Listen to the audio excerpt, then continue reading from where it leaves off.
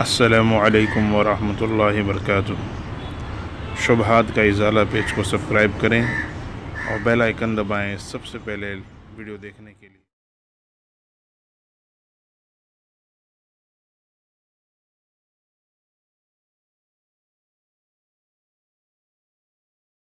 नहीं आ रही है बंदे तू चक्कर में मत जाइए सही है। हम्म, ये इसकी वजह से वो घूम रहा बोल के? इसको ही लिया पहले वो तो वैसे ही रखा हुआ है। मेरे दोस्तों, भाइयों, अभी हाल की बात है। हज़रत मोना तलहा साहब, दामद बरकातुम सबको पता है कि थोड़े दिन पहले उन्होंने इस बात का ज़िक्र किया मौलाना साहब साहब से कि यार, मेरे को गलत फहमी में डाल दिया गया था। तो बड़े बुज़ुर्ग हैं, शेखुल हदीस के साहबजादे हैं। उन्होंने इस बात का इजहार किया कि मुझे गलत फहमी में डाल दिया गया था। यानी हज़रत आपको क्या गलत फहमी हो गई थी?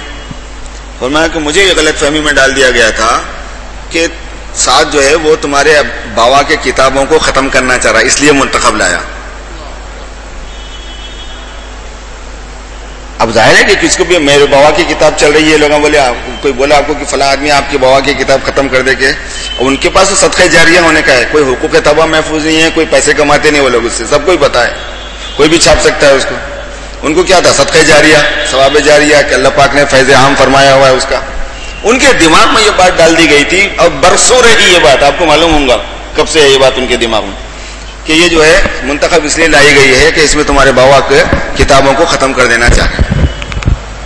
जब मौलाना की तरफ़ से ये बात बार बार आई, मौलाना साहब साहब दामद बरकत उनकी तरफ़ से, कि मुंतखब ना तो इसलिए पढ़ने को कहा जा रहा है, खुदा न खास्ता, फजाइल को ज़रूर पढ़ना है, माँ सदक़ात पढ़ना है एक दिन यह भी पढ़ना है। उसके दो ही रीज़न है मुंतखब के। मुंतखब को जो, एक तो हतमा यूसुफ साहब रहमत की, ये तरतीब दी हुई किताब है और छह नंबरों की तरतीब पर तरतीब दी हुई है। फजाइल अमल छह नंबरों की तरतीब पर नहीं है पूरी। इसी वजह से अखलास की कोई किताब उसमें नहीं है। आ रहा नहीं रहा? तो हमारे साथी बयान में जिगजाग बहुत करते हैं, गलतियाँ बहुत करते हैं। क्यों इस वास्ते के छह नंबर की मुस्तनद हदीसें और जना वाला आयतें उनके सामने पूरी एक साथ अगर हो तो फिर उनको पाबंद किया जा सकता है कि भाई ये बोलना है बकिया मत नहीं बोलना है तुमको। गलतियाँ बहुत कर रहे हैं, गलतियाँ बहुत कर रहे हैं, बल्कि बोलते थे, फिरे और उसका कोई मुतबादिल उनको नहीं दिए तो मसला नहीं। तो इस वजह से अपना यूसुफ रहमत ने इसको लिखा था। और मौलाना यूसुफ रहमत के इस मुसवदे को मौलाना ने पड़ोस में भेज के बाद साथियों से काम करवाया उस पर कि भाई इसको छापने का काम करना है।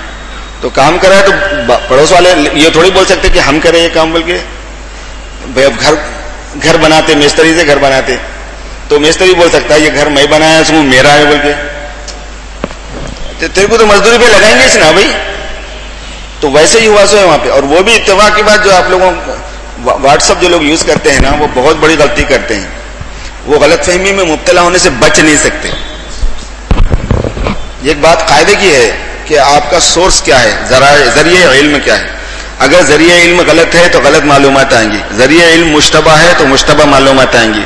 ज़रिए इल्म कंफ्यूजन वाला है तो कंफ्यूजन आप में पैदा होगा। ज़रिए इल्म मुस्तनद अथेंटिक है तो इल्म भी मुस्तनद आएगा।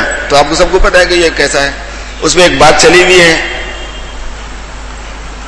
मौना के खिलाफ में एक बिलाल नामी शख्स ने खत लिखा हुआ है, बहुत वो उसको व्हाट्सएप पे भी डाला हुआ है, आप जो लोग जानते हैं उनको पता है। इतफाक की बात यह है कि हमारे शिकागो के हाफिज सलमान जो है, इमाम है जाम मस्जिद के तबलीग के मरकज के, वो हज को गए हुए थे। उनसे उन साहब की मुलाकात हुई जो उस किताब पे काम करे। उनका नाम बिलाल है। उन्होंने बोले, यार, तुम हज़रत मौलाना के इतने मोतकद में से थे, तुम कैसा लिख दिए मौलाना के खिलाफ? उन्होंने क्या बोले, मालूम? अरे यार, मैं तो अभी भी वैसे ही मोतकद हूँ और मैं मौलाना के खिलाफ तो सोच भी नहीं सकता लिखना, बोले। अरे तुम्हारे नाम से खत है? तो बोले, वो मेरे नाम से नहीं है, वो दूसरे नाम से उसको तो मेरा नाम लेने भी नहीं आया। बोले, मेरा नाम ये है पूरा, बोल के बताऊँगा उनकी तरफ़ मंसूब करके कोई दूसरा आदमी उसी नाम के साथ में बात चला रहा है। और हमारे लोग समझ रहे हैं कि, अरे, ये बात सही है, ये बात सही है। बस अपने को इतना ज़्यादा गैर तहकीकी जहन हो गया आप लोगों का, बावजूद दीनी मदरसों के पढ़े हुए होने के, कि बहुत अफसोस की बात है ये, कि हम लोग भरोसा कर लेते हैं। गैर मुस्तनद जराए पर तहकीक। भाई ठीक है आपको ज़्यादा से ज़्यादा तहकीक का रुख मिला। कोई बात इंफॉर्मेशन की आ गई जहन में तो आपको तहकीक का रास्ता मिला। अच्छा भाई इस मसले पर तहकीक कर लेना चाहिए। भरोसे का कैसे मिल गया आपको? एतमाद कैसा मिल गया उसमें? सच होना कैसे मालूम हो गया उसका? हुक्म कैसा लगा दे सकते आप उस पर अगर खुदा का खौफ है तो ये ये, ये ये चार सीढ़ियाँ चढ़ने के बाद कर सकते कोई काम आप। बेखौफी होती है खुदा तरसी जब कम हो जाती है और अगराज सामने आ जाते हैं तो फिर आदमी एतमाद करने लगता है, बात चला देता है। ये भरोसे की चीज़ नहीं, ये ये जो इतने सोशल मीडिया है और एप्स है ना, जितने, ये एक दूसरी दुनिया है, जानने की है। ये फ्री में है ना।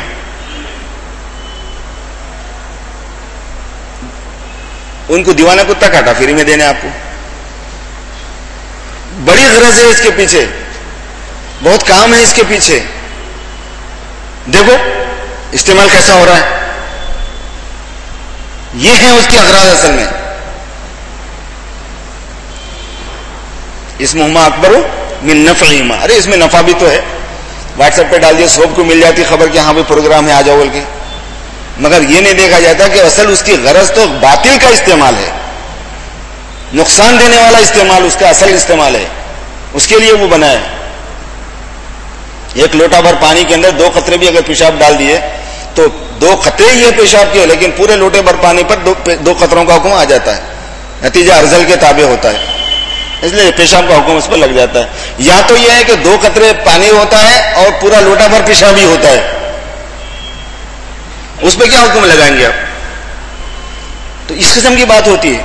हजमा तलहा साहब ने माजरत चाहिए बाबा और फिर उनकी जब अहलिया का इंतकाल हुआ हजमा तलहा साहब की अहलिया का इंतकाल अभी थोड़े दो, दो, एक दो महीने पहले हुआ दो तीन महीने पहले हुआ है। मैं वहाँ पे था वहीं पे था मैं। तो उस वक्त सब लोग ओलमा कराम बड़ी बड़ी जगहों से पहुँचे हुए थे चूँकि ज़ाहिर है कि शेख की बहु बड़ी नस्बत उनकी। दारुल देवबंद से अकाबिर भी उलमा आए हुए थे मज़ाहिर के अकाबिर उलमा सब मौजूद थे दूसरी जगहों के भी थे अतराफ के अजला के यूपी के बताइए अब हज़ारों। उनमें हज़रत मौलाना तलहा साहब, दामद बरकत ने हज़रत मौलाना साद साहब से नमाज़ जनाजा पढ़ाई। सबकी मौजूदगी में।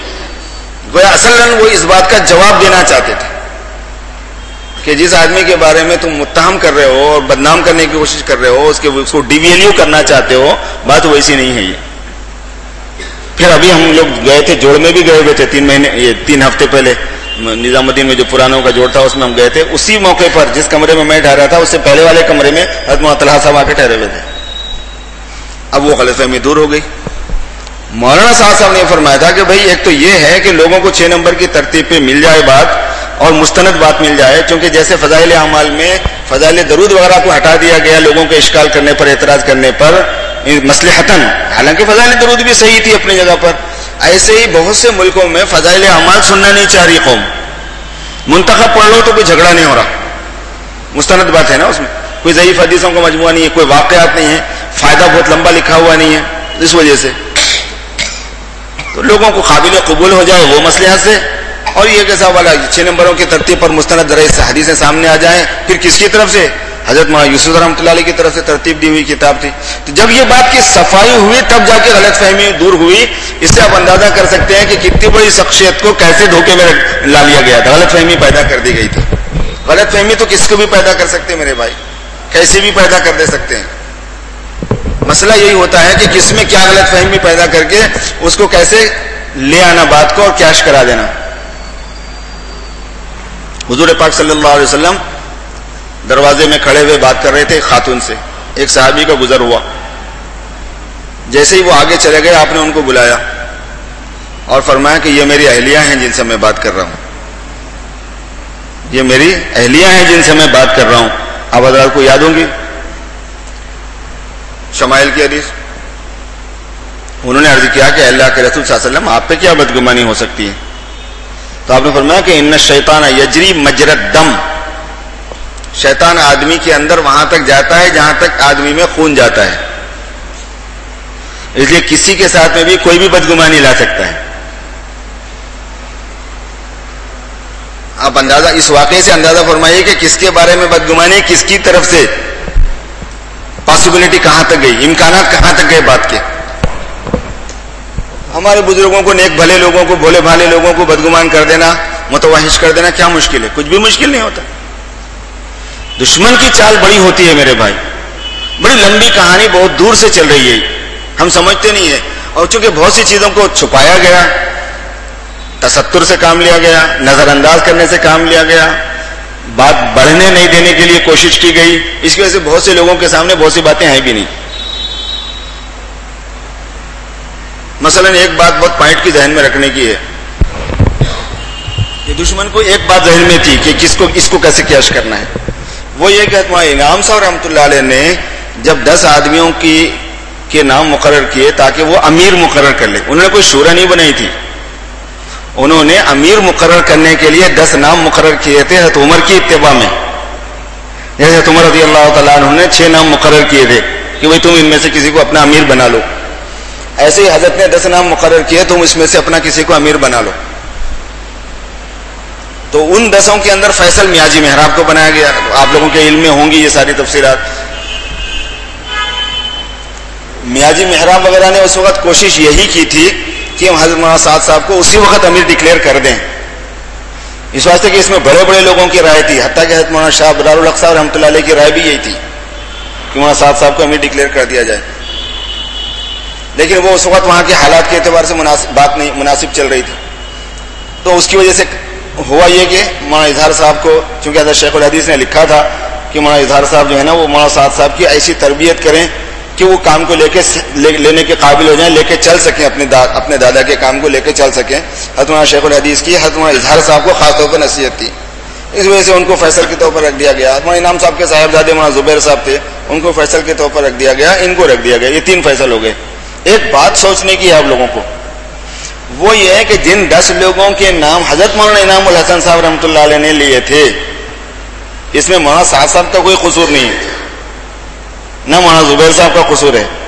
और मौलाना इनाम हसन साहब की जो हैसियत है, शख्सियत है, वो मुतफ़ा ले थी। इतनी वजनदार थी कि जिसकी हद नहीं। और उनकी बसीरत सब लोग मानते थे। बहुत अजीब किस्म के वलील्ला थे वो। उनकी विलायत बहुत अजीब थी। मैं दो महीने की तरतीब में कई मरतबा रहा हूँ हज़रत के पास। उन हज़रत के दौर में, निज़ामुद्दीन में। और पीछे जो हिस्सा था जहाँ पे छोटी सी हरियाली बनी हुई थी, उसमें हज़रत असर के बाद बैठते थे, हम असर की नमाज़ पढ़ते ही जाके बैठ जाते थे ताकि उतनी देर सोबत हासिल रहे बोल के बहुत अरसे तक मैंने बहुत गौर से देखने की कोशिश की है, खैर, हम क्या, हमारी नज़र क्या, हम क्या देख पाते बुज़ुर्गों को? लेकिन बहुत महसूस किया कि बहुत अजीब व गरीब किस्म के अली अल्लाह में से थे वो। बड़ी फिरासत वाली थी। उन्होंने जिन दस नामों को लिखा है, नाम मुकर किया था, उसमें से इस वक्त जितने इख्तलाफ करने वाले लोग हैं, एक भी नाम नहीं है। न गुजरातियों में से किसी का नाम है। हालाँकि कितने बड़े बड़े लोग वहाँ पर सामने थे। न अलीगढ़ वालों में से किसी का नाम है। न बेंगलुरु वालों में से किसी का नाम है। हालाँकि सफ़र में, हजर में, प्रोग्राम लेने में, देने में ऐसा लगता था जैसे यही लोग शोपीस, सामने यही लोग रहते थे ना? ये बात मालूम थी दुश्मन को। और इसका असर भी था थोड़ा सा वजह उसकी है कि हर जगह मुखलिस गैर मुखलिस सभी होते हैं। कोई भी मेरी दुम पे उंगली रखे, पैर रखेगा तो बिल्ली की दुम पे भी पैर रखे तो पंजा मार देती हूँ समझ में आ रहा ना? तो जो मुखलिस है, जो बर्दाश्त करने वाले लोग हैं, बड़े जरफ वाले लोग हैं, बुज़ुर्ग लोग हैं, वो अलग हैं। उन पर आप कोई हुक्म नहीं लगा सकते। लेकिन सारे उसमें मुखलिस थे ज़रूरी नहीं है। तो उनको बड़ी थी वो चीज़ पहले से। एक चुभन थी उस बात की। उसकी वजह से हज़रत मौलाना साद साहब को हमेशा मजरू करने, नुकसान पहुँचाने, उनकी मुखालफत करने की बात अरसे से चल रही थी। हमें नहीं पता है उस बात का क्योंकि हमें नहीं बताया गया। बड़े लोग, बड़े जर्फ वाले लोग ऐसी चीज़ों को लाते नहीं थे उम्मत के सामने ताकि नुकसान ना हो। मगर वो सालों से चल रही थी बात। एक बहुत बड़े मौलाना हमारे पास अमेरिका में गुजरात के ही हैं वो इत्तेफाक से। उनका बयान यह है कि उन्होंने एक महीना बाबा क्याम किया निज़ामुद्दीन में इस वाक़े, इख्तलाफात के बाद तहकीक करने के लिए। उन्होंने डायरेक्ट मुझसे कहा, दरमियान में कोई रास्ता, वास्ता नहीं है। उन्होंने मुझसे कहा कि मैं गुजराती हूँ और गुजराती कौम से हमारा गुजरातियों का जो ताल्लुक होता है, आपको मालूम ही है। वो कुछ तफसीरात हम जानते हैं उसकी। जो आप लोगों को हवा भी नहीं है उसकी। वो बहुत हसास होते हैं उस मामले में। तो उसकी वजह से मैं बहुत फ़िक्र में था तो मैं जाके वहाँ रहा और एक एक छोटी से छोटी बात की मैंने तहकीक की हज़रत मौलाना की।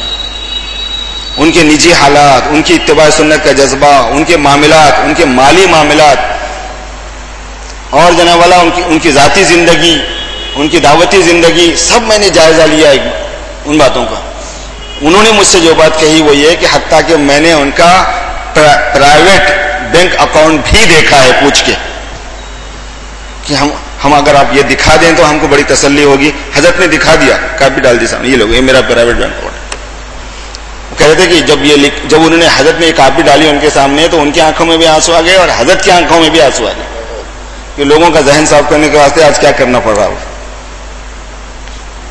तो खैर उस पर उन्होंने जो बातें मुझे बताई, बहुत सी हैं, उसमें से एक बात उन्होंने ये कही कि उन्होंने पूछा कि हज़रत, आप गुजरात वाले आपसे नाराज़ क्यों हैं? मौलाना साहब साहब से पूछा। गुजरात वाले आपसे नाराज़ क्यों हैं? तो मौलाना ने फरमाया कि गुजरात वाले, वालों से मैं नाराज़ हूँ। आप गुजरात वालों से पूछो कि 10 साल से जो गुजरात का इज्तम होता है, सारे सूबे वाले यहाँ मशवरा करते हैं। 10 साल से वो लोग एक वक्त भी मशवरा करेगा निजामुद्दीन में आके ये पूछो बोले। ये चल रही थी अंदर से कहानी। ये मुझे उन्होंने बताया, वो साहब ने बताया। मुझे भी नहीं मालूम थी ये बात। बहुत सी हकायक होते हैं जिनका हमें पता नहीं होता। हम अपने तौर पर किसी की तरफ़ हो, चले जाते हैं। सूरत हाल क्या है, क्या नहीं, अंदाज़ा नहीं कर पाते। बहुत सी ऐसी चीज़ें पेश आई हुई थी मेरे, पेश आई हुई थी। तो वो चीज़ थी जिसको जो दुश्मन जो है ना, उसको कैश करना चाह रहा था। इस्तेमाल करना चाह रहा था। अब उलमा दो चीज़ों में आके बहुत परेशान हुए उलमा परेशान हुए एक मसले में और तबली वाले परेशान हुए एक मसले में। उलमा परेशान हुए दारुम देवबंद की तहरीर पर। कि भाई हमारे अकाबिर का की तहरीर आ गई, हम क्या करना? ये तबलीगी परेशान हुए अकाबिरीन के बाहर निकलने पर कि भाई इतने बड़े बड़े, पुराने पुराने पचास पचास साल से लगे हुए बुज़ुर्ग उस्ताद भी हैं वहाँ साहब साहब के बड़े बड़े बड़े बुज़ुर्ग हैं। वहाँ इब्राहिम देवला साहब, दामद बरकातुम वगैरह वगैरह। मुखलिसिन मुखलिस तरीन जैसे लोग ये लोग साथ हैं ये लोग अलग हो गए हैं तो आखिर क्या इसका को, कोई कोई ना कोई तो बात होंगी ज़रूर। तो पुराने तबलीगी जो है ना ये तबलीगियों के निकलने से परेशान हुए मौलवियों की जो साइड थी वो दारुल देवबंद की वजह से परेशान हुए। और उनको मालूम था कि ये दोनों साइडों को मुतासर करने के ये दो ही रास्ते हैं। समझ में आ गई बात? ऐसा हुआ। और इसमें हज़रत दारुल देवबंद का मसला ऐसा है मेरे भाई कितने मुफ्ती हजरात इफ्ता का कोर्स किए हुए हैं? आप जैसा सवाल करोगे, वैसा जवाब मिल जाएगा। जैसे सवाल पेश करोगे, वैसा जवाब मुफ्ती दे देगा। उसको क्या मान खुद हुसामुल हरमैन जो छपी थी दारुल देवबंद के खिलाफ। दारुल देवबंद के खिलाफ। कौन से दारुल देवबंद? हज़रत रशीद अहमद साहब गंगोही माँ थानवी और कासिम नानतवी के दौर के दारुल देवबंद के खिलाफ। हुसामुल हरमैन हरमैन से छपी थी। पता है जिन लोगों को हुसामुल हरमैन की तहकीक है, उनको पता है। किताबी छाप दी। क्यों? हरमैन वालों से सवाल वैसे मांगे थे। उनके बारे में इनका इनका नाम लेके सवालत कर दिए कि ना, ऐसा करे ऐसा करे ऐसा करे ऐसा करे ऐसा करे। उन्होंने वहाँ से फतवा भेज दिया। गड़बड़ यहाँ से वहाँ तक। इन्होंने छाप के जो है ना, लोगों को बांट दिया। बहुत लंबी कहानी है। तो ऐसा होता है कि जैसे सवाल करोगे, वैसे जवाब आ जाएगा। बात असल यह है कि दारुल देवबंद के फतवे से कोई फ़र्क हर समझदार आदमी को जो दारुल देवबंद से पढ़ा हुआ हो या दूसरी जगह से पढ़ा हुआ हो, खासतौर पर जो इफ्ता का तालब इल्म है, उसको जरा सा भी खलजान नहीं होना चाहिए। पहली बात यह थी कि हज़रत मौलाना ने कोई बात बगैर मर्जे के नहीं कही। माखज नहीं है उसका और कोई बात कही हो, ऐसा नहीं हुआ। और अपने उलमा की किताबें उसका माखज हैं। और असल वो माँ यूसुफ सर रहमत के मलफूदात हैं। वो क्यों बोलेंगे उलट पुलट बातें? बात असल यह है कि मरकज माखज उसका, मर्जा उसका मौजूद था। लेकिन हमारे उजमाए दीन और बुजुर्गान दीन को फिर भी इश्काल था कि भाई ये सही नहीं है। तो मौलाना ने क्या फरमाया? मैं रुजू कर लेता हूँ। रुजू कर लेते हैं। नहीं करेंगे, आइंदा किस्सा खत्म। क्योंकि रुजू कर लेना ये अहले हक की अलामतों में से है। हक वाला रुजू कर लेगा। बातिल वाला रुजू नहीं करेगा आय भाई शाही करेगा। हज़रत ने एक मरतबा नहीं, दो मरतबा नहीं, तीन मरतबा नहीं, चार मरतबा तहरीरी तौर पर रुजू किया। खाली तहरीरी तौर पर रुजू करने से क्या कितने लोगों को में गलत बात चली गई होंगी पब्लिक में बोले तो कितनी जगह पब्लिक में बोले बड़े बड़े इज्तम में बोले। रुजू हो गया ना भाई? रुजू हो गए बाद भी फतवा चलता क्या? हर थानवी रहमत ने कई मरतबा रुजू किया है। तरजीह और राजे, उनकी किताब का नाम है। बाबा एक हिस्सा, तरजीह और राजे, इमदादुल फतावा के अंदर भी आपको मिलेगा। कि पहले यह मसला था यह बात कही गई थी, अब यह बात है। मैं पहली बात से रुजू करता हूँ। क्यों इस वास्ते कि उस वक्त वो तहकीक सामने थी? बाद में ये तहकीक सामने आ गई। कोई इसमत का दावा नहीं कर रहे ना मासूम है बोल के। समझ में आ गया गलती तो हो सकती है। हम अपने तौर पर यह समझे कि गलती नहीं है ये। आप फरमा रहे कि गलती है, आप बड़े हैं हमारे। ठीक है, हम रुजू कर लेते हैं। बताओ, इससे ज़्यादा सादतमंदी और क्या है? इससे ज़्यादा न्याजमंदी और क्या हो सकती है? और इसके बाद बात बाकी कहाँ रहती है?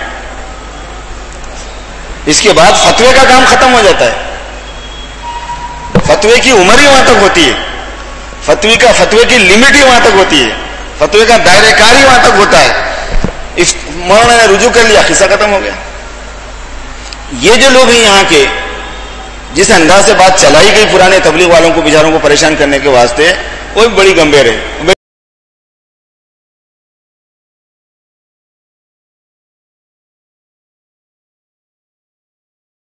जाता है। हम लोग सात आठ साल मदरसे में पढ़ के फारिग होके वो तासुर लेके नहीं आते, जो चार महीने में इनका आदमी तासुर ले लेके आ जाता है। उसकी खास वजह है, ये मतलब नहीं है कि वो हमसे ज़्यादा पढ़ लेते हैं, वो हमसे ज़्यादा जान लेते हैं, हमसे ज़्यादा मश्क कर लेते हैं, ऐसा नहीं है वो। उसके खास रीजन है।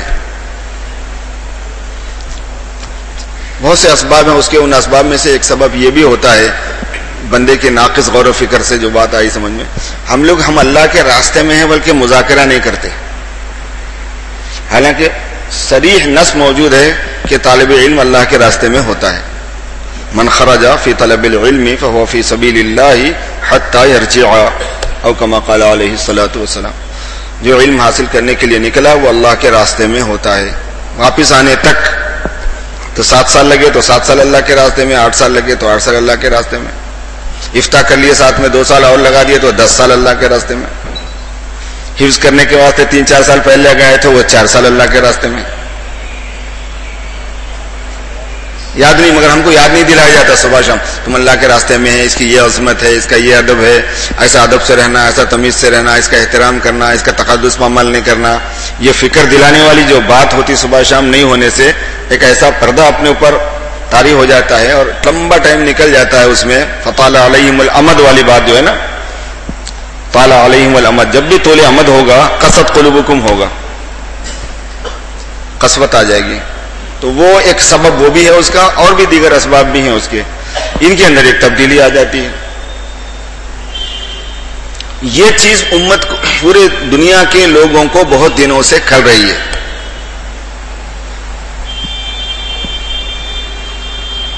सबको मालूम है आप लोगों को कि मैं शिकागो में होता हूँ। वहाँ के हालात करीब से देखने, सुनने को मिलते हैं उन लोगों के।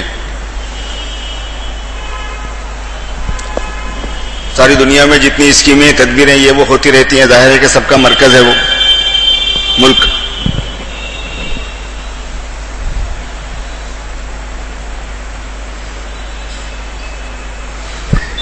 तो जो चीज़ें वहाँ इल्म में आती हैं उनमें से एक चीज़ ये आती है कि जितनी एक्टिविटीज़ इस वक्त हो रही हैं,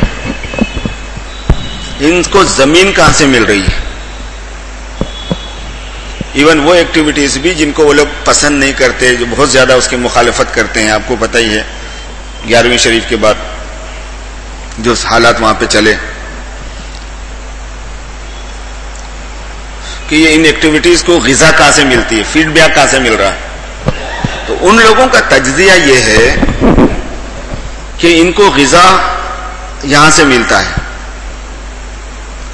किस तरह से मिलती है? ये लोग ले जाते हैं, आदमी को मज़हब की फ़िक्र दिला देते हैं, मज़हब के लिए जान माल लगाने का जज्बा उभार देते हैं, मज़हब पर अमल करने का शौक पैदा कर देते हैं, आखिरत की फ़िक्र पैदा कर देते हैं।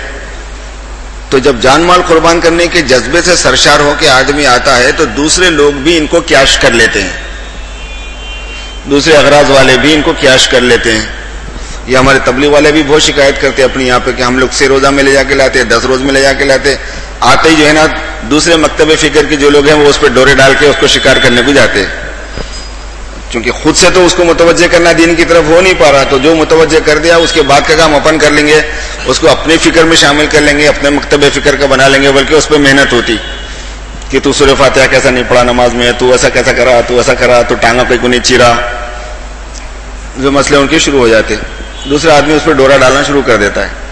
तो जैसे ये डोरी डालते हैं तो वैसे ही उन लोगों ने ये सर्च किया है कि पूरी उम्मत दूसरे लोग भी डोरी डालते हैं इन पर। उनका अपना एक तजिया है ये। किस हद बहुत हद तक वो सही भी नहीं है। ऐसा कोई किसी के साथ इत्तेफाकन अगर कोई मामला हो गया हो तो कोई कायदा आम तो नहीं होता ना वो। आम कायदा तो नहीं हुआ करता। तो इसलिए वो इस्तेंताज सही नहीं है वो, इस्तेदलाल भी सही नहीं है उनका वो। ये, मगर मैं उनकी सोच बता रहा हूँ आपको कि वहाँ एक चीज़ बहुत पाई जाती है कॉमन है। उसमें मुख्तलिफ़ आर्टिकल्स जो है ना मजामी उनके मुसलसिल आते रहते हैं। मुसलसिल आते रहते हैं। हती कि खुले तौर पर ये लिखते हैं उनके लोग कि भाई इनके ऊपर पाबंदी क्यों नहीं लगाते तुम जब तुम खुद महसूस करते हो कि इनको फीडबैक लोग, लोगों को यहाँ से मिल रही है। ज़मीन यहाँ से मिलती है इनको काम करने का मैदान यहाँ से मिलता है अफराद यहाँ से मिलते हैं जहनीत मैंटेलिटी यहाँ से मिलती है जहन यहाँ से मिलता है। तो फिर आप इन पर पाबंदी क्यों नहीं लगाते? तो उनके खवास ने जो जवाब दिया है उन्होंने ये जवाब दिया है कि इसका जो हेड ऑफ़िस है वो ऐसी जगह पर वाक़ है कि उनसे हमारा कोई पंगा नहीं है। डॉक्यूमेंटेड है ये बात। अभी तक वेबसाइट पे पड़ी हुई है ये बात। अगर इसका हेड ऑफ़िस दूसरी जगह हो जाए, दूसरी कंट्री में हो जाए तो हम बहुत आसानी से इसको कैप्चर कर लेंगे। ये लिखा हुआ है। इस किस्म की बातें, यानी ये भी एक बात है और भी बहुत सी बातें लिखी हुई हैं और होती रहती है और हमेशा चल रहा। तकरीबन दस साल से जो है ना, हर वक्त कोई ना कोई लिखी रहा है इस पर आते रहते आर्टिकल पीएचडी किए गए इस पर एक एक एक एक शख्सियत पर पीएचडी उनके लोगों ने की हुई है वहाँ इलियास साहब पर पीएचडी है वहाँ यूसुफ साहब पर पीएचडी है वहाँ इनाम साहब पर पीएचडी है दारुल देवबंद पर पीएचडी है दारुल देवबंद की हिस्ट्री पर पीएचडी है शाह इस्माइल शहीद पर पीएचडी है सैयद अहमद शहीद बरेलवी पर पीएचडी है वहाँ से चला है ना ये सिलसिला असल हज़रत शाह वलील्ला पे पीएचडी है उनकी की हुई अपने मुसलमान कर रहे हैं वैसा नहीं गैरों की की हुई भी है बहुत इसके ऊपर वर्क हो रहा है, बहुत दिनों से हो रहा है। बहुत लंबी प्लानिंग चल रही है। अपने जमाने के लोगों को और उनकी एक्टिविटीज़ को जानना अहले इल्म हजरात पर ज़रूरी है। ये बात कहने के जिम्न में मैं ये अर्ज़ कर रहा हूँ आपसे कि क्या है, हमको कोई अंदाज़ा ही नहीं है।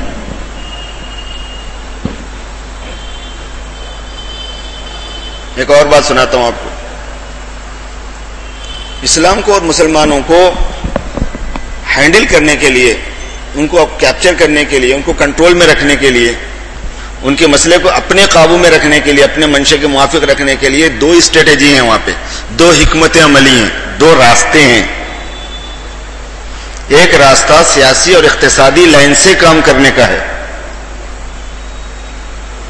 इसलिए पूरे मुल्कों की, खासतौर पर मुस्लिम दुनिया की जो सियासत है, पूरी उन लोगों के कंट्रोल में है। सबको पता है। इकतसादी एतबार से भी। पैसा जो है, उस पर हमारा कंट्रोल हो जाए। और है भी।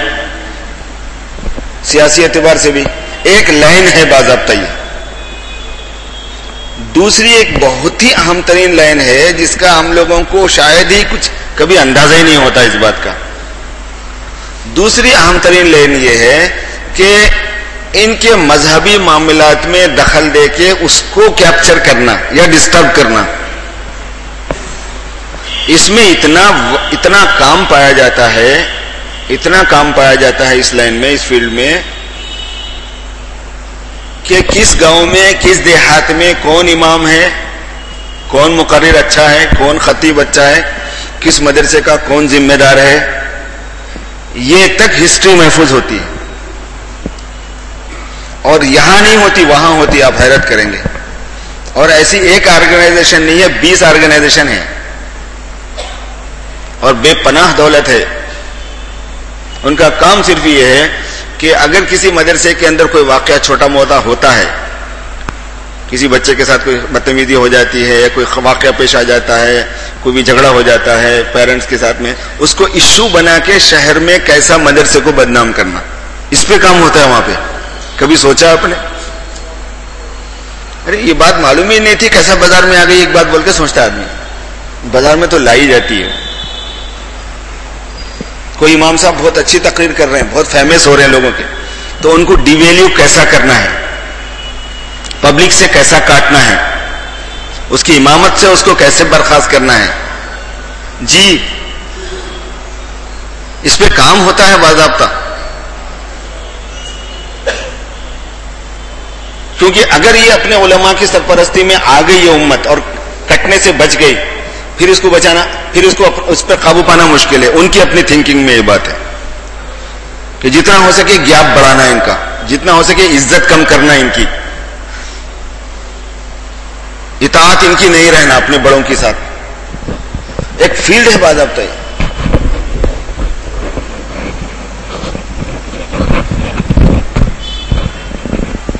एक बात से अंदाज़ा आप कर सकते हैं कि दुश्मन की सोच कहाँ तक चली गई और हम बैठे हुए, हम, हमारा दिमागी काम नहीं करता।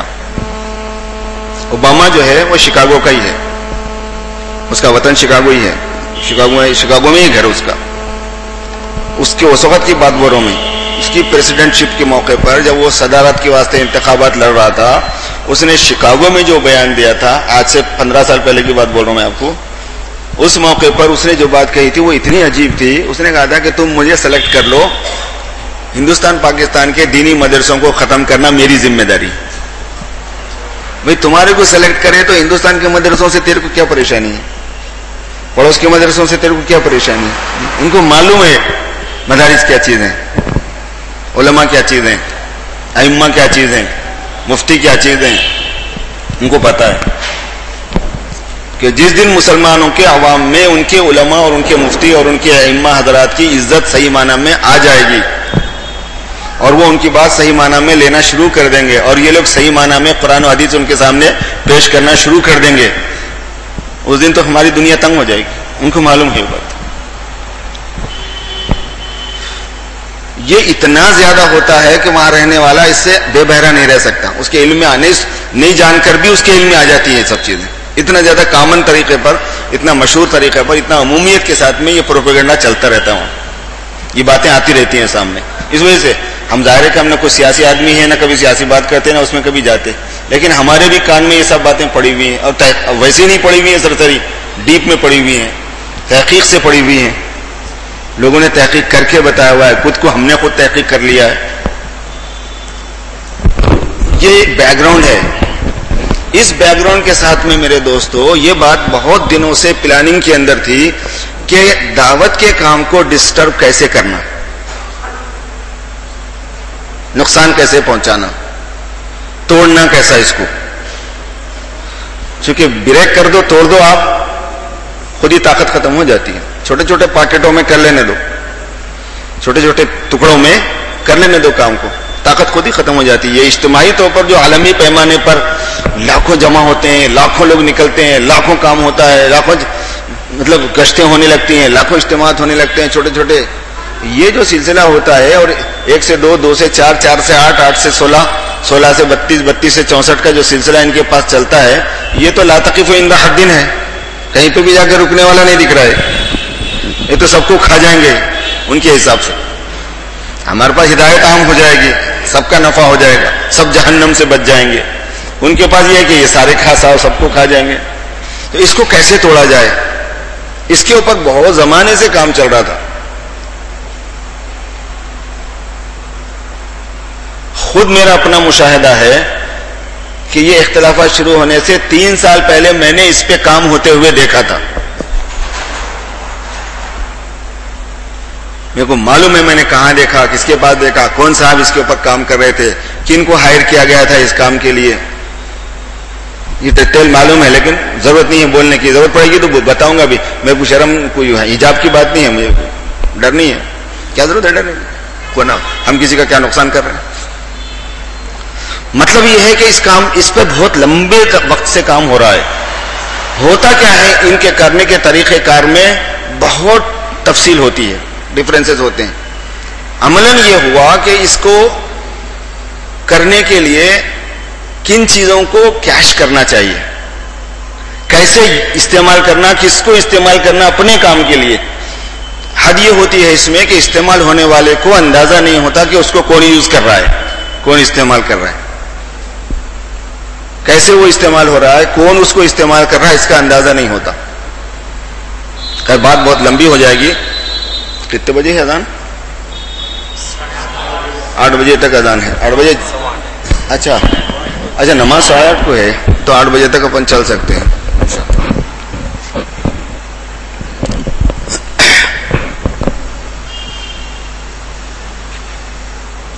तबलीग वालों की दो खसूसियतें बहुत अजीब थी। हैं अभी भी। एक खसूसियत इनमें इतात अमीर है। जवाब नहीं है इसका। हज़रत जलालाबादी रहमत के जब हम पढ़ते थे वहाँ पर, हमारे इस मौलाना रफ़ीक अहमद साहब, मौलाना अखिल रहमान साहब वगैरह जो हमारे जलालाबाद के इस हैं, अपने पढ़ने के ज़माने की बात मैं बोल रहा हूँ आपसे, उनसे मैंने पूछा था कि तबलीग वालों की क्या खसूसियत है। तो उन्होंने कहा था कि तबलीग वालों की खसूसियत इतात अमीर है। अपने अमीर की मानना। इस चीज़ ने इनको सारी दुनिया में चला दिया। और इस चीज़ ने उनके काम को काम का असर सारी दुनिया में डलवा दिया। यानी अल्लाह ने डाला, सबब यह बना। इतात अमीर है इनमें।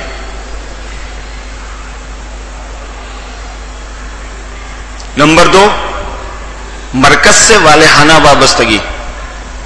मरकज निजामुद्दीन से इनकी वालेहाना अकीदत, वालेहाना वाबस्तगी, मकबूलियत उसकी। कोई काम दीन के कामों में से ऐसा नहीं है कि जिसमें आलमी एतवार से कोई एक मरकज हो। इबादत का मरकज तो है बैतुल्ला समझ आ रहा नहीं? लेकिन तालीम और तरबियत और दावत के मराकद में से आलमी मरकज आप किसी को नहीं बोल सकते।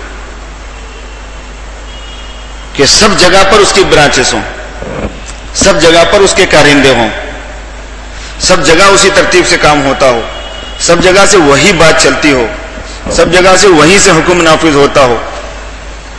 सब जगह के लोग उसको ही सबसे बड़ा अमीर मानते हो। ये न किसी इदारे को ये बात हासिल है न किसी शेख और मुर्शिद को ये बात हासिल है न किसी आलिम को ये बात किसी को ये बात हासिल नहीं थी। इनके मर, आलमी मरकज ने इनको एक आलमी एतवार से और हैसियत पूरे वर्ल्ड के इनको जोड़ दिया है। और हर मुल्क में इसका असर है। हर जगह पर इसका असर है। दारुल देवबंद को अल्लाह ने बहुत बड़ा बनाया है। उसके फुजरा पूरी दुनिया में फैले हुए हैं, लेकिन वो नौयत अलग है बिल्कुल। दारुल देवबंद की ब्रांचेस नहीं है बनी हुई। समझ में आ रही बात? एक समझ में आने के वास्ते एक मिसाल मैंने दी है। तफसील में जाना है, मुझे नहीं है। इसकी बात अलग है बिल्कुल। इसका काम अलग है, इसका नहेज अलग है, इसका उसलूब अलग है। इसमें एक ही बात चलती है, इसमें तरतीब एक ही है, तरीक़ेकार एक ही है। जो किताब वहाँ से कही जाएगी, वही किताब पढ़ी जाएगी। जो बात वहाँ से निकलेगी, जो लैंग्वेज में निकलेगी, वही लैंग्वेज में बोलेंगे। वहाँ अगर मोहतरम बुज़ुर्ग दोस्तों है तो आप थाईलैंड में जाके भी मोहतरम बुज़ुर्ग दोस्तों सुनेंगे। समझ में आ गया नहीं? एक ही एक ही लैंग्वेज एक ही उसलूब एक ही। लैंग्वेज अगर बदली हुई भी है ज़ुबान बदली हुई है, उसलूब एक ही है। और वही छह नंबर का मुजाकरा। और सियासत में नहीं जाना, और मसाइल में नहीं जाना। सियासत में नहीं जाने से काम को बाउंड्री खत्म हो गई। माना यूसुफ माना इलियासा रहमत की सियासत का आप इससे अंदाज़ा लगाइए कि कितने बड़े सयास आदमी थे वो। इतने बड़े सियासतदान इस पूरी सदी में नहीं पैदा हुआ कोई। दो ही कामों ने उनके काम के साथ इतनी वसात का मामला किया, मैं बता नहीं सकता। एक पॉलिसी उनकी कि सियासी मामला में मत जाओ। बॉर्डर खत्म हो गए। जब सियासत में दखल नहीं देना है तो एक एक मुल्क को दूसरे मुल्क से कोई बॉर्डर ही नहीं रहा। सारे मसले तो सियासत में आके आते हैं बॉर्डर के तो। सारी दुनिया के बॉर्डर खत्म। तो पूरी दुनिया में काम जाना आना आसान हो गया। जमातों की नकलो हरकत, बड़े, छोटे, अमीर, गरीब, सरकारी, गैर सरकारी, कोई भी जाओ, जमात में जाओ, कोई पाबंदी नहीं थी। बॉर्डर खत्म हो गया। मसाइल में मत जाओ। उम्मत का जो छोटा छोटा टुकड़ा होता, हुआ करता है, वो खत्म हो गया। ये उलमा से पूछो। एक तो ये वजह से कि उसमें तफसीलात होती हैं। आवाम को उसका हक नहीं होता, वो जानते नहीं। और दूसरा फ़ायदा उम्मत को उम्मत बनाने का जो था कि इज्तमाहीत इनमें आए आलमी एतबार से। और आलमी एतबार से फिर क्यादत उभरे। बहुत दूर की सोच। हजमा यूसुफ साहब रहमत फरमाया करते थे, सुना कि दुश्मन ने भी चाल फेंका है, जाल फेंका है और हमने भी जाल फेंका है। यूसुफ साहब रहमत फरमाया करते थे, दुश्मन ने जाल फेंका है, हमने भी जाल फेंका है। क्या क्या हिकमत अमली है समझ रहे हैं आप? क्या तदब्बर है उसमें? इज्तमाहीत तो पूरे आलम की इस इज्तमाहीत का गहवारा जो है ना मरकजी तौर पर दो चीज़ें थी। काम में, एक मरकज निजामुद्दीन और दूसरा अमीर की इतात इस पर मुस्तकिल काम हुआ कि अमीर की इतात से लोगों को कैसे हटाया जाए। इस पर मुस्तकिल काम हुआ कि निजामुद्दीन से जहन को कैसे हटाया जाए। तबलीग वाला हो और निजामुद्दीन के खिलाफ बात कुछ बोले या सुन सके, इसका कोई सोच भी नहीं सकता था। जान दे देता था उन्हें, लेकिन ये बात नहीं सोच सकता। था तबलीग वाला और अमीर के खिलाफ उसके कुछ बोल देंगे। छोटे अमीर को नहीं सुनता था, उन्हें बड़े अमीर को तो गर्दन ही मार देता था। बर्दाश्त नहीं थी। तो एक बहुत बड़ी स्ट्रेटेजी के साथ में इसकी बर्दाश्त लाई गई। सुनने के काबिल बनाया गया इन बातों को। फिर मुतासर होने के काबिल बनाया गया। बस ये है मेरे दोस्तों, वो पीछे की, इसका बैकग्राउंड अब जिस जिसको जितना मालूम है इसमें उतना वो समझ सकता है इस बात को। खालिश दुश्मन की चाल है ये, जो इस वक्त जमात में चल रही है। दुश्मन की भी मुसलमानों में का दुश्मन नहीं है, मुसलमानों को तो यूज़ किया गया। आप बोलेंगे, इतने बड़े बड़ों को भी यूज़ कर लेते क्या? जी हाँ, आपको अंदाज़ा नहीं हो सकता। उनको खुद पता नहीं चलता कि उनको कैसे इस्तेमाल कर लिया गया। थोड़ी सी मैं उसकी तफसील भी सुनाई देता हूँ आपको, ताकि अंदाज़ा हो सके और हम अपने बड़ों के बारे में बदगुमान भी ना हो। क्योंकि इसमें जो बड़े बड़े लोग भी हैं बस, काबिल एहतराम लोग हैं, उनकी उनका तकदस अपनी जगह पर है, उनका लिहाज अपनी जगह पर है, उनका अदब अपनी जगह पर है, बेअदबी भी करना नहीं है। लेकिन बात को तो समझना है कि है क्या किस्सा।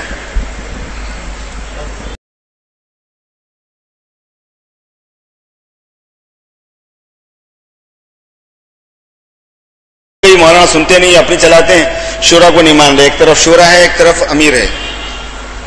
सही है ये बात? एक फ़ीसद भी सही नहीं है ये बात। एक फ़ीसद भी नहीं सही। क्यों? असल दो सेटअप हैं जो चलाए जा रहे हैं। एक सेटअप शूरा, माल, अमीर। अमीर और शूरा दोनों वाला। चूँकि निजामुद्दीन बगैर शूरा के कभी नहीं रहा। निजामुद्दीन बगैर शूरा के कभी नहीं रहा। ये बात अगर कोई कहे कि वहाँ शूरा नहीं है तो मुशाहिदे के खिलाफ है, हकीकत के खिलाफ है, सबूत के खिलाफ है। पहले दिन से वहाँ पे सबूत मौजूद है, शहादत मौजूद है। हर हर बात, हर हर जुजिए का मशवरा होता है। उसमें भी मौलाना साद साहब का रुझान ये था कि नहज पर बाकी रखने के लिए शूरा की तरतीब वही हो जो मौलाना इलिया साहब के जमाने में थी, जो मौलाना यूसुफ साहब के जमाने में थी, जो मौलाना इनाम साहब के जमाने में थी। असल नहज को बाकी रखने की ज़्यादा फ़िक्र मौलाना साहब साहब को है। वो चाहते थे कि शूरा की तरतीब वही हो। ये लोग ये चाह रहे थे कि नहीं, शूरा नामनेट हो, क्योंकि उनके जमाने में शूरा नामजद नहीं थी। फला फला फला फला शूरा क्या बोलते? समझ में आ रहा नहीं? खैर, इनके लोगों के इसरार पर मौलाना नामनेट शूरा भी रखे, मालूम ही आप लोगों को। तो एक एक सेटअप है अमीर और शूरा दोनों होने का। एक सेटअप है बगैर अमीर के शूरा होने का। एक तरफ़ शूरा है, एक तरफ़ अमीर है बोल के जो बोलते हैं तो गलत फहमी में मुबतला करते हैं। हकीकत वैसी नहीं है। हकीकत यह है कि दो सेटअप चाह रहे हैं, कुछ लोग। एक एक चाहने वाले ये हैं कि अमीर और शूरा दोनों साथ साथ हों। जब अमीर नहीं होगा तो शूरा किसको मशवरा देगी? अमीर नहीं होगा तो फैसला कैसे किया जाएगा? सीरत में क्या मिलता है? इस्लामी तारीख में क्या मिलता है? सुन्नत में क्या है? हज़रत मौलाना सलीमुल्लाह खान साहब, आप जानते होंगे, विफाकुल मदारिस के सदर थे। हम मौलाना हुसैन अहमद साहब मदनी रहमत के खासुल खास शागिर्दों में अल्लाह रफ़ीक अहमद साहब और मौलाना सलीमुल्लाह खान साहब, ये दोनों हज़रत मौलाना मसीउल्लाह खान साहब रहमत के बहुत खास शागिर्द थे पहले। वो फरमाते थे, मौलाना मसीउल्लाह खान साहब रहमत कि मेरी नाक है ये दोनों। फिर वो उधर पड़ोस में चले गए। वहाँ विफाकुल मदारिस के सदर बन गए, कशफुल बारी के मुसनफ़ बुखारी शरीफ के जो शारे हैं। वहाँ तकी उस्मानी साहब के भी उस्ताद हैं, वहाँ रफ़ी उस्मानी साहब के भी उस्ताद हैं, बड़े लोगों के उस्ताद हैं। अब विशाल हो गया, अल्लाह ताला मफफरत फरमाए। अभी हाल में ही हुआ है। उनको लिखा गया कि भाई ये दो सेटअप है, शूरा, खाली शूरा, उसका कोई अमीर नहीं होना, जब मशवरा करना है, जब भी कोई फैसला बना ले, फैसल बना लेंगे। उसका कोई अमीर मुस्तकल नहीं होगा। एक शूरा माल अमीर। तो जो मौलाना साहब ने खत लिखा था उनको, उन मौलाना साहब को मौलाना सलीमुल्लाह खान साहब ने लिखा कि मैं तो समझ रहा था कि आप साहिब इल्म हैं। मैं आपको आलिम समझ रहा था बोले। कैसा पूछा आपने ये बात? ये बात पूछना खुद बता रहा है कि ज़्यादा सलाहियत नहीं है। हालाँकि बहुत बड़े आलिम है, बहुत बासलाहियत है। ऐसी बात भी नहीं है कि उनकी सलाहियत कम है। मगर हज़रत चूँकि उनसे बहुत बड़े हैं इस वास्ते उनको हक पहुँचता वैसा बोलने का, हमें नहीं हक पहुँचता कि इस जुमले को बोल के हम उनको उनको, उनकी तोकीर कम करें। लेकिन मौलाना के जुमला नकल कर रहा हूँ मैं, बात समझ समझ में आ जाने के वास्ते। फरमाया कि ये कहाँ सुन्नत में है? ये कहाँ है कि खाली शुरा हो, उसका कोई अमीर ना हो? तो ये दो सेटअप हैं, जो शुरू से तबलीग का काम जब से चला शुरा माल अमीर के सेटअप में है। तो सीरत में भी यही है। अब कुछ कुछ लोग ये चाह रहे हैं कि खाली शुरा हो, उसका कोई अमीर ना हो। भला बताओ कैसे? और मज़े की बात बताऊँ मैं आपसे। आप इससे दुश्मन को फ़ौरन पहचान सकते हैं। खाली शुरा होना, उसका अमीर नहीं होना, और वो शुरा में से आधे जो है ना, एक मुल्क के रहना, आधे दूसरे मुल्क के रहना। और ऐसे दूसरे मुल्क के रहना जिनकी दोनों में एक सेकंड नहीं बनती। सौतनों से ज़्यादा दुश्मनी है। समझ में आ गया नहीं? समझने की बात है कि क्या चाह रहा था दुश्मन? उसका कोई मरकज भी नहीं होना, उसका कोई अमीर भी नहीं होना। आधे इधर के रहना, आधे उधर के रहना, उनमें मशवरा करना बारी बारी से फैसल मुकर करना। अब जब भी मशवरा करे, रोज़ाना जितने भी उम्मत के तकाजे आए, दस को मिला लेना। तभी तो होगा ना भाई मशवरा। पाँच उधर से मिलाना, पाँच इधर से। बांग्लादेश वाला तो बाद में शरीक करे। लोग काऊ काऊ काऊ करे। तो नहीं तो खाली उधर के थे। मालूम ही आप लोगों को क्या कहानी है? कैसा मिलाते? कैसी बात करते? उधर का फैसल रहा इधर वाले खामोश बैठते। मैं और आप खामोश बैठते ये दूसरा जो मेहरबान बैठे हुए हैं, निगरानी कर लेते हुए खामोश बैठते करने देते आपको काम। वो पहली बात जो मैंने नकल की थी आपको, वो इस वजह से नकल की थी कि ये बात आपकी समझ में आ जाए। उन्होंने ये कहा था कि जिस दिन इसका हेड ऑफ़िस दूसरी जगह हो जाएगा, उस दिन हम इसको बंद कर देंगे। ये चाल थी मेरे दोस्त। वो तो अल्लाह ने बचा लिया। अल्लाह ने बचा लिया कि साहब साहब ने इस सजेशन को रद्द कर दिया, कबूल नहीं किया। तजवीज तो आई थी।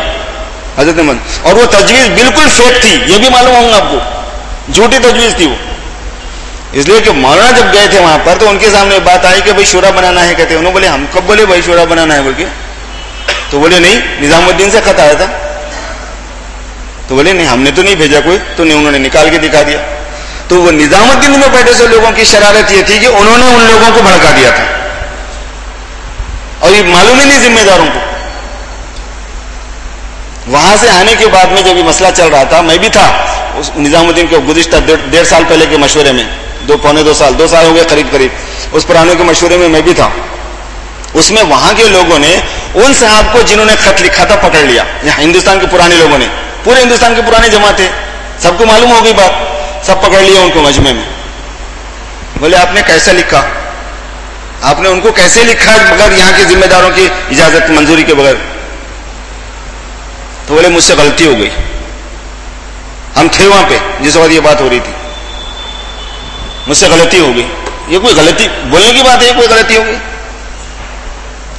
इवन हत्ता के हज़रत मौलाना याकूब साहब जो हैं, उन्होंने तक उन साहब से कहा कि, भाई, ये झगड़ा हमारा यहाँ पे था तो ये मसले को लेके वहाँ कहीं को गया है? सबके सामने पूछे उन्होंने। ये झगड़ा तो यहाँ था हमारा तो इस मसले को लेके वहाँ कहीं को गया? एक ना दो, खामुश। तो मालूम हुआ कि वो सजेशन भी बिल्कुल फेक था। झूठा था। और अल्लाह ने हज़रत मौलाना साहब साहब दामद बरकातों को जो बसीरत दी, बहुत अजीब गरीब बसीरत वाले आदमी है। फ़ौरन पूरी बात समझ गए उसको उन्होंने कहा कि ये मंजूर नहीं है कितने भी नाम है। ये जो वहाँ तारिक जमील साहब वाला बोलते हैं ना, मैं खुद मौजूद था उसमें, हम लोग दस्तखत करे सो भाई, तुम सजेशन की दस्तखत करे थे। सजेशन में तुम मौजूद थे। जो असल फैसल है, हर वक्त जो फैसल रहता है, बरसों से फैसल रहता है रायवेंड में भी वही फैसल होता है। काकरल में भी वही फैसल होता है, निजामुद्दीन में भी वही फैसल होता है। उसने मंजूर किया था क्या इसको? जब नहीं किया था तो बोले, मैं था उसमें, मैं था, तुम्हारे रहने से क्या होता? हु आर यू इस मामले में। तुम्हारे रहने से कुछ नहीं होता। जो असल जिम्मेदार है, जब उसने मंजूर नहीं किया तो वो चीज़ डिसमिस हो गई। और वैसे आई थी गलत तजवीज वो। तो ये यूँ चली सो है कहानी मेरे भाइयों। हज़रत कराम से मैं बहुत बादब तरीके से अर्ज़ करना चाहूँगा कि इस बात को समझने की कोशिश फरमाएँ क्योंकि ये, ये जुमला भी बेहद का है कि समझने की कोशिश फरमाएँ समझ ही रहे होंगे आपको। हो सकता है कि ये तफसीलात आपके सामने ना आई हो उसकी वजह से गलत फहमी हो गई हो। बात असल बिल्कुल दूसरी है। गलत फहमियाँ जो है ना यहाँ के लोगों में भी पैदा की गई उधर के लोगों में भी पैदा की गई दारुल में भी पैदा की गई मरकज के रहने वालों में भी पैदा की गई। कुछ अच्छे लोग भी थे उनको गलत फहमी का शिकार बना दिया गया। मौलाना इब्राहिम साहब ने दस मरतबा तो भी कहा कि मैं जाऊँगा मरकज को। फिर नहीं जा सके। अब अब अब मज़बूत राय बना ली अपने, मैं नहीं जाऊँगा बोल। लेकिन शुरू में तो यही बोलते थे कि मैं जाऊँगा। अमेरिका में जिस वक्त उनका सर्जरी हुई, हार्ट सर्जरी हुई, उस वक्त भी उन्होंने यही कहा था। पूरे के पूरे लोग मिलके वहाँ पहुँचे और मौलाना को ज़बरदस्ती ले गए। इस वास्ते कि उनका दिल सिर्फ़ पंद्रह फ़ीसद चल रहा था। जिस वक्त उनको यहाँ से ले गया गया।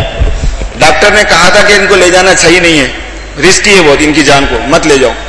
ये मौलाना को भी ये बात मालूम थी। जमात को भी ये बात मालूम थी जो उनको लेके गई थी। वहाँ अमेरिका वाले के अमेरिका के डॉक्टर ने मुझसे बताया कि अगर ये बात यहाँ होती तो ये पूरी की पूरी जमात अंदर होती बोले। क्योंकि जेल हो जाती है। कि आप किसी की जान से खेले कैसा? खिलवाड़ कर लिया उनका उनकी ज़िंदगी से। खैर वो तो अल्लाह को बचाना था। वहाँ ज़ाहिर है कि जैसे हवाई जहाज़ का प्रेशर हुआ पंद्रह फ़ीसद दिल काम कर रहा था, वो गड़बड़ हो गई। वहाँ जाते उनको एडमिट करना पड़ा दवाखाने और उनका, इनकी सर्जरी कौन करे हाथ की? जो मौलाना साहब साहब के खास खादे में उन्होंने करे। खर्चा कितना आया? पाँच लाख डॉलर खर्चा आया उस पर ये लोग एक डॉलर नहीं दिए। बशमूल हज़रत मौलाना के, उन्होंने भी एक डॉलर नहीं दिए। अब उनके पास नहीं थे होंगे। या थे नहीं दिए, क्या है वल्लाह वालम एक डॉलर नहीं दिए, सारी मुसीबत उस पर आई मौलाना के खादिम पे। खैर, उन्हें भी नहीं दिया, इस बात कि वहाँ ट्रिक है ऐसी, मगर उसका कैरियर मुतासर हुआ। दवा खाने वाले बोले, तुम ऐसी हरकत कर दिया ऐसा कैसा? जिसकी तुम ज़िम्मेदारी नहीं ले सकते थे, उसको आप दाखिल कैसा करें, उसकी उसकी सर्जरी कैसा करें बोल के दवा खाने वाले उसके पीछे पड़े। ये सब मेरी चूँकि उनसे दोस्ती है, उन्होंने मेरे को बताया से तफसीलात है ये। उस मौके पर हज़रत ने बार बार यह कहा कि मैं जाते ही निजामुद्दीन जाऊँगा। मौलाना साहब से बात हुई दो मरतबा उनकी। हज़रत ने मिजाज कुर्सी की। फरमाया कि जैसे मेरी तबीयत चलने फिरने के काबिल हो जाएगी, मैं आ जाऊँगा वहाँ पे। इससे पहले भी बोले, उससे पहले भी बोले। वहाँ से आने के बाद हजमा साहब साहब फिर गए थे, बुलाने के वास्ते। सब हुआ सो है लेकिन दरमियान में कुछ चीज़ें ऐसी होती हैं कि बात लोगों बहुत लोगों को बात नहीं मालूम रहती है। कि क्या किस्सा हुआ, क्या कहानी हुई? अब सीधे साधे भोले भाले आदमी को अगर कोई डरा दिया, धमका दिया वो डर जाता। बोले, मस्जिद में दिखना नहीं टांग तोड़ते वो तो आप आते फिर। क्या हुआ उनके साथ, क्या नहीं हुआ? को मालूम है। सीधे लोग हैं, भोले लोग हैं, अल्लाह वाले लोग हैं। ऐसे में हमें क्या करना होता है? मेरे दोस्तों जो बात असल आपको एक अर्ज़ करना चाहता हूँ मैं, वो ये है कि मेरी मकीदत, मोहब्बत किसी से भी हो सकती है। लेकिन मुझे करना क्या है? समझ में आ गया नहीं आ गया? हो सकता है कुछ लोगों को मोहसा साहब से मुनासिबत कम हो मोना इब्राहिम साहब से ज़्यादा हो, ऐसा बहुत लोग हैं। लेकिन उसकी वजह से जो इमाम है, उसकी इतात करने के बजाय जो मुख्तदी है, उसकी करेंगे। जो इमाम है इतबा तो उसी की होगी। इख्तदा तो उसी की होगी। जो इमाम है, उसको मानना पड़ेगा। जो असल आदमी है इतात तो उसकी हमारी ज़िम्मेदारी जो तबलीग का काम करने वाले साथी हैं, जो ओलमाए के नाम हो, वो या दूसरे हों, उनकी ज़िम्मेदारी अमीर की इतात है। अमीर ने ऐसी कौन सी नाफरमानी का हुक्म दे दिया है? उसने तो कोई नाफरमानी का हुक्म दिया नहीं। फिर इतात ज़रूरी है। जिसने अमीर की इतात की, उसने अल्लाह के रसूल की इतात की। जिसने अल्लाह के रसूल की इतात की, उसने अल्लाह की इतात की। जिसने अल्लाह की बात मान ली, वो जन्नत में दाखिल हो गया। हमारे जिम्मे तो अमीर की इतात है। उनसे होंगे अपनी जगह पर रिश्ता हमारा। खुद हम जिस वक्त जाते थे, निजामुद्दीन को इब्राहिम साहब के पास ज़्यादा बैठते थे। जैसे तालब इल्म उस्ताद के पास ज़्यादा बैठता मोहतिम साहब से कम मिलता। मदरसे का मोहतिम मदरसे का तालब इल्म, जब मदरसे को जाता है तो बैठता किसके पास ज़्यादा? मोल साहब के पास। मिलता कम किससे? मोहतिम साहब से नहीं मिलता। इसका मतलब ये थोड़ी हो गया कि मोहतिम से भी आगे एक चीज़ हो गई मदरसे में। ऐसा तो नहीं होता ना। तो हम भी उनके पास ज़्यादा बैठते थे। मगर ऐसी सूरत हाल में जब वो वहाँ पर नहीं है तो हम इतात कैसे छोड़ देंगे? मरकज कैसे छोड़ देंगे? ये समझने की चीज़ है हमको। देखो, एहतराम अपनी जगह पर होता है, हुक्म अपनी जगह पर होता है। आप उलमा कराम है, बैतुल मुकद्दस का भी एहतराम है, बैतुल्लाह का भी एहतराम है। बैतुल मुकद्दस भी काबिल एहतराम है, बैतुल्लाह भी काबिल एहतराम है। लेकिन हुक्म बैतुल्ला के साथ है।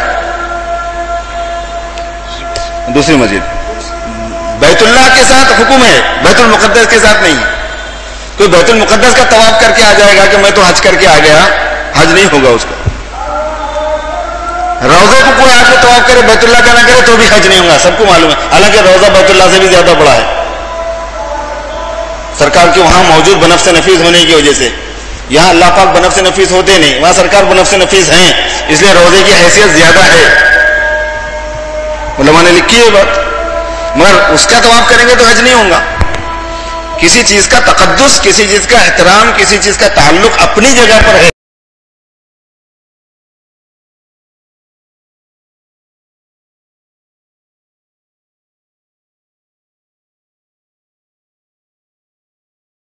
बैतुल्लाह के साथ हुक्म है, बैतुल मुकद्दस के साथ नहीं। कोई बैतुल मुकद्दस का तवाब करके आ जाएगा कि मैं तो हज करके आ गया, हज नहीं होगा उसका।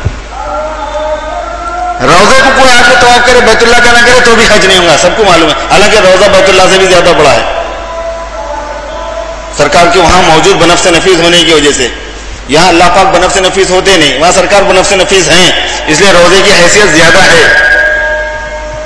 उलमा ने लिखी है बात। मगर उसका तो आप करेंगे तो हज नहीं होगा। किसी चीज़ का तकदस किसी चीज़ का एहतराम, किसी चीज़ का ताल्लुक अपनी जगह पर है। हुक्म अपनी जगह पर हुआ करता है। मरकज को छोड़ना, मरकज से वाबस्तगी नहीं रखना, अमीर को छोड़ना, अमीर की इतात न करना, इसकी इजाज़त नहीं दी जा सकती। वो तो दुश्मन कामयाब हो जाएगा जिस दिन ये काम हो जाएगा। वो तो चाहता ही था। चाहता ही ये है। बना पैसा पैसा लुटाया जा रहा है। बेपना दौलत लुटाई जा रही है। बेहिसाब खर्चा किया जा रहा है इसके ऊपर। उसको मालूम है? इसलिए अमीर की इतात बहुत ज़रूरी है। आलम का अमीर है। और अपने जात के एतबार से मेरे दोस्तों, बहुत ही बड़ी नस्बत है, बहुत काबिल एहतराम। अपनी जगह पर हम चूँकि जाति मोहब्बत रखते हैं तो हम अपने तौर पर उनसे, उनकी अकीदत और एहतराम वाली बात अलग रखते हैं। लेकिन हमें जो असल सोचना है, वो ये कि वो अमीर है, इसलिए उसकी इतात करना है। आज वो है, इसलिए आज उनका नाम आ जाता है ज़्यादा। अगर वो अल्लाह को प्यारे हो गए, दूसरा अमीर आया तो हम ये थोड़ी बोलेंगे कि भाई वहाँ की इतात करना था, इनकी इतात नहीं है ऐसा थोड़ी बोलेंगे। जो अमीर है, उसकी इतात की बात की जाएगी। आज वो अमीर है, उनकी इतात की बात की जा रही है।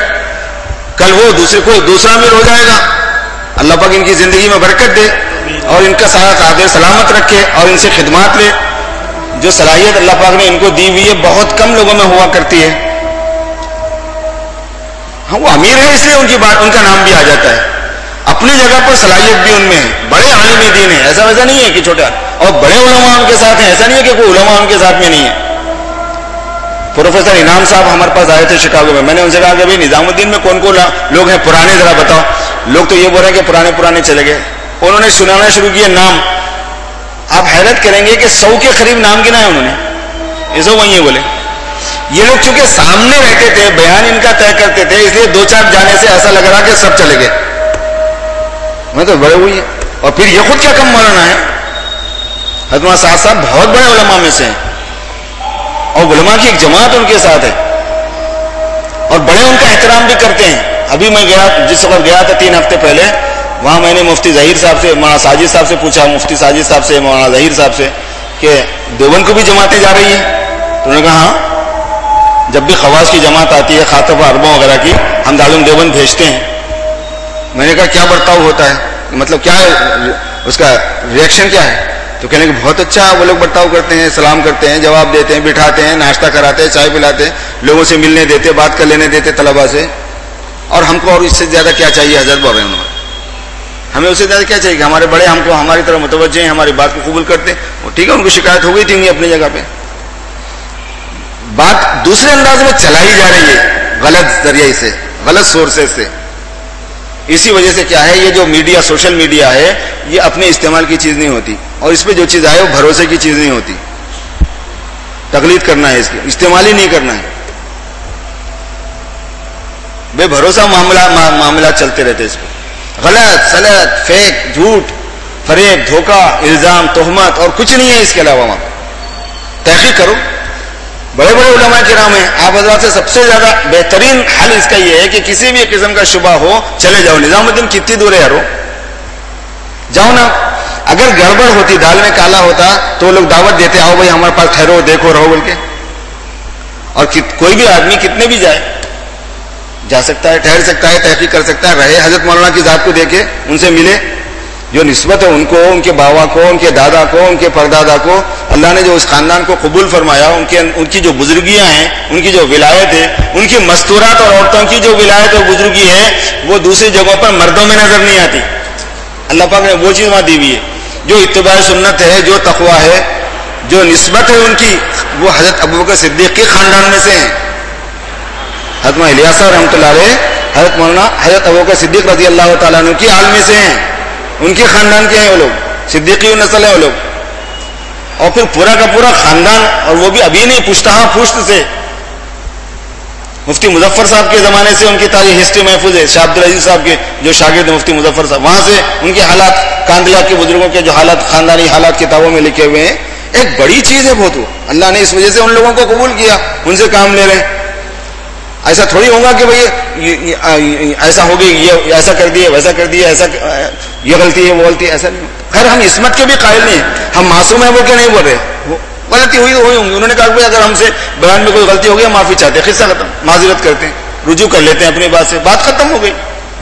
अब ये लोग हैं, इन लोगों के तौर तरीक दूसरे अंदाज के थे बिल्कुल। चले गए, कुछ नाराज़ होकर चले गए। इन नाराजियों को उन लोगों ने कैश कर लिया, दो लोगों ने, मुख्तलिफ़ तरीकों से हथकंडे अपना के।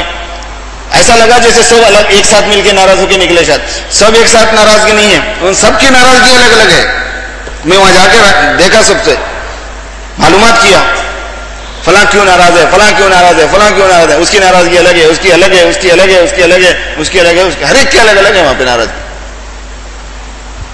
और बड़ी चीज़ वहाँ से चल रही थी कि डोमिनेशन हम चाह रहे थे कि हमें मिले, पैसे जितने चाहे ले लो हमसे। वो था चक्कर वहाँ पे बड़ा, कि डोमिनेशन हमारा होना चाहिए। तो तुम्हारा कैसे होगा? ठीक है, आपको काम आता, अल्लाह ने आपसे बहुत काम लिया, बड़ा फैज पहुँचा, सब सही है। लेकिन आप ये बोले कि नहीं डोमिनेशन हमको दे दो। कह को देंगे भाई आपको डोमिनेशन नहीं देते वैसा काम नहीं तरीका नहीं होता वो। और फिर ये इतने जमाने से चल रहे हैं। इतने जमाने से सैतरा इनको हासिल है, गलबा इनको हासिल है, इकतदार इनको हासिल है, कब्जा इनको हासिल है। बात इनकी चल रही है। फैसल ये बने हुए हैं, अमीर ये बने हुए हैं, इतने जमाने से।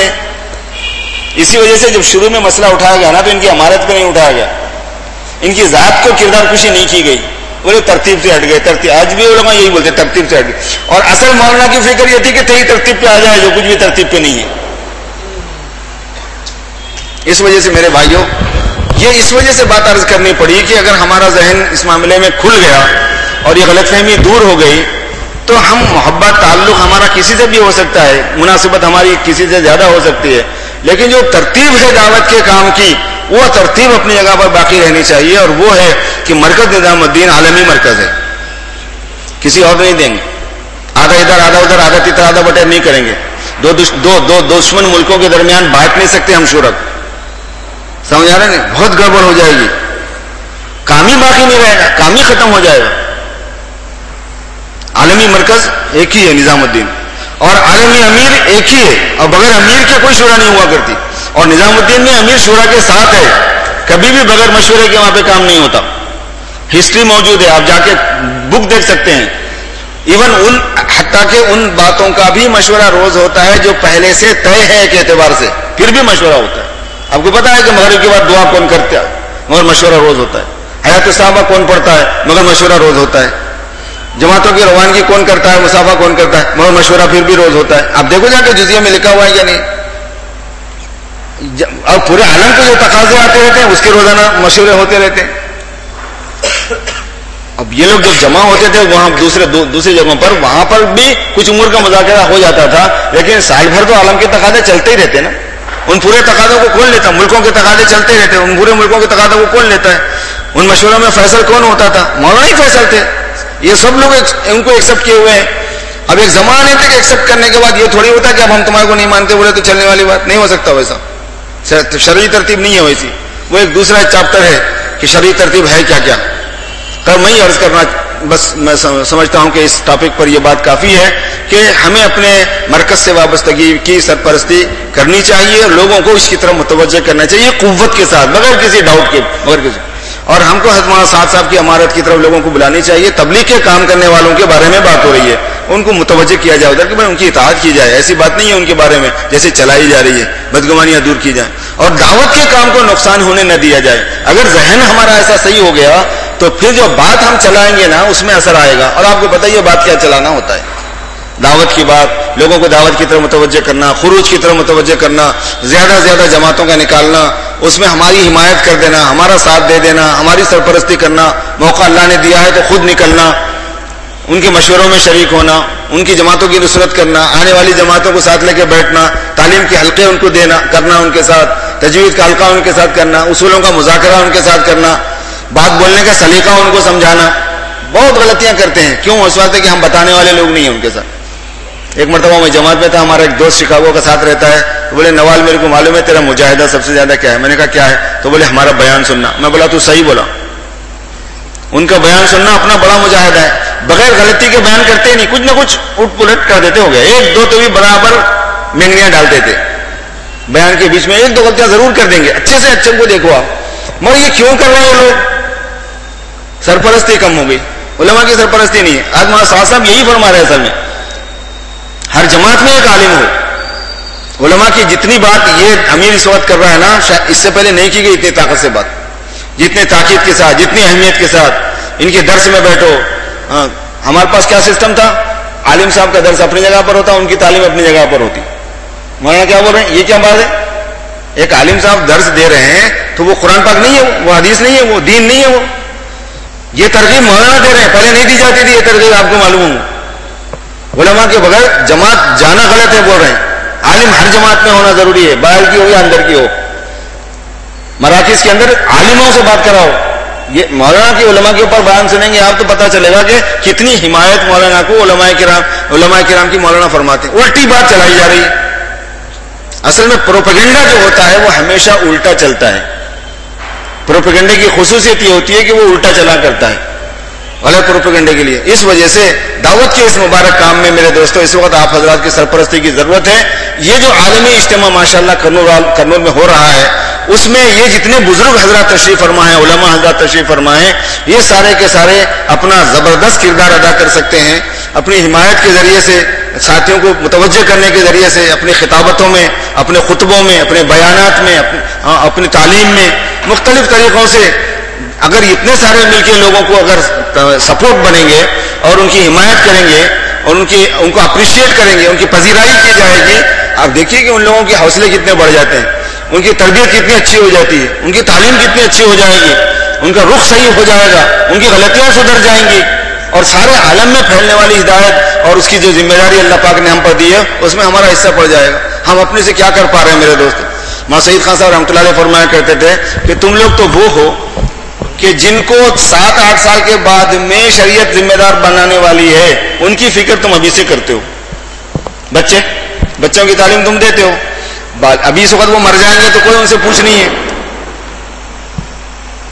तो आप अंदाज़ा फरमाइए कि जब तुम्हारे पास इसकी इतनी अहमियत है कि अभी सात साल बाकी है, आठ साल बाकी है, इस पर दीन मुतवजह होने, नमाज़ फरज होने के लिए, रोजा फरज होने के लिए, अभी से उसकी तालीम तरबियत की फ़िक्र आप महसूस करते हैं, वारिस नबी होने की वजह से, कि इस उम्मत का मुस्तबिल यही है बोल के।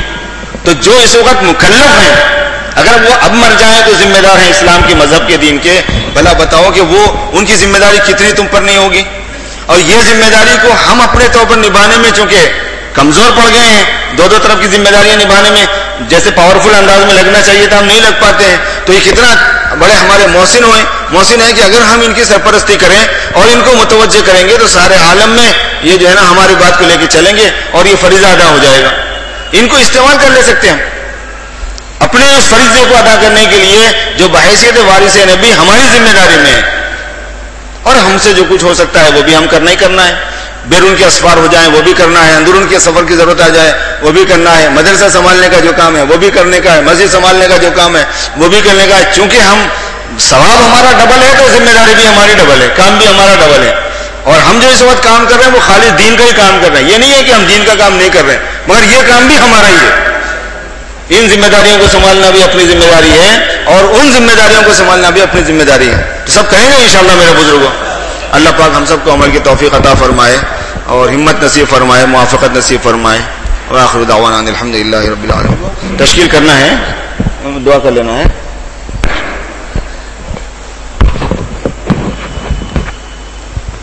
जिम्मेदार हैं कोई आप हजरात ही हैं कर लेना दुआ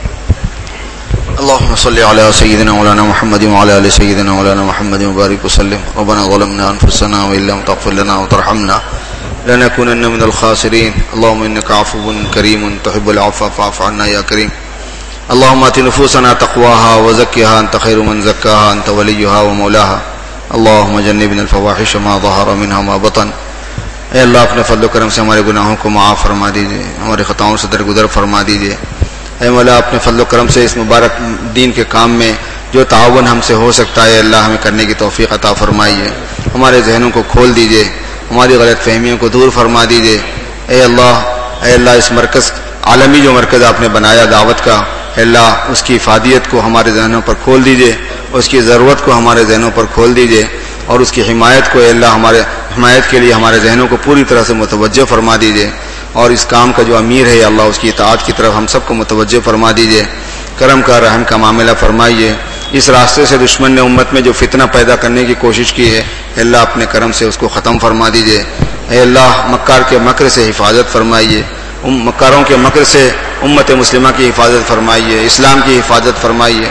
शरीरों की शरारत से उम्मत मुस्लिमा की हिफाजत फरमाइए, इस्लाम की हिफाजत फरमाइए। हासिदीन की हसद से अल्लाह, मुसलमानों की भी हिफाजत फरमाइए और इस्लाम की भी हिफाजत फरमाइए। दावत के काम की हिफाजत फरमाइए। अल्लाह, होने वाले इस इज्तम को कामयाब फरमाइए। बुलंदशहर में जो इज्तम हो रहा है उसको भी कामयाब फरमाइए। भोपाल में जो इज्तम हो रहा है उसको भी कामयाब फरमाइए। और मरकज़ के तहत में जहाँ जहाँ इज्तम हो रहे हैं, परवरदिगार, इन सबको कामयाब फरमाइए और उनकी हिफाजत फरमाइए। अल्लाह चाह रंग आलम के अंदर इस मुबारक काम को और फैला दीजिए और इसमें बरकत अता फरमा दीजिए और वसात अता फरमा दीजिए और इस्तेकाम अता फरमाइए। हर किस्म के शुरू फितन से मौला अपने करम से बचा लीजिए। अल्लाह, आप ही की हिमायत चाहिए, आप ही की मदद चाहिए। कदम कदम पर गैबी तहिद को शामिल हाल फरमा दीजिए। दस्तगिरी फरमाइए मदद फरमाइए अपने करम से हमारी दुआओं को कबूल फरमा लीजिए। वसली वसलम मुबारक आला सैदमरसलिन बरहमत कैमरमीन अलहमदिल्ला सच पूछ रहा था मैं तश्किल करना है क्या? फोज अब बोल रहे आप तश्किल करो बल्कि दुआ होने के बाद कहाँ तश्किल होती है? अच्छा ये फरमा रहे हैं कि अपने अपने मदरसों में जो बालिग बच्चे हैं उन लोगों की जमात की तरतीब बनाने की फ़िक्र फरमाएँ। और बहुत सी जमातें तैयार होंगी जिसमें उलमा कराम की ज़रूरत है। आप हज़रत अगर हिम्मत फरमा लेंगे तो जमातों की रवानगी में बड़ी मदद मिलेगी। अल्लाह पाक सबको, हम सबको तोफ़ी दें।